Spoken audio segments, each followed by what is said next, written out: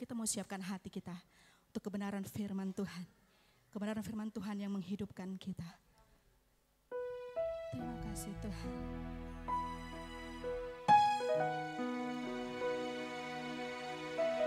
Kami percaya Tuhan sesuatu yang terjadi dalam kehidupan kami itu semua mendatangkan kebaikan. Sebab kami tahu kami mempunyai sumber kekuatan. Itu Allah yang selalu berpegang